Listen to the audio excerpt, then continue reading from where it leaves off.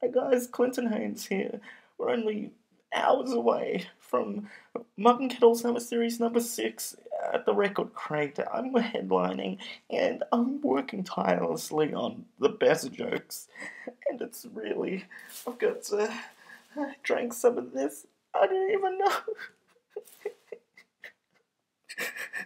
I went on funny.com and they said the user isn't funny.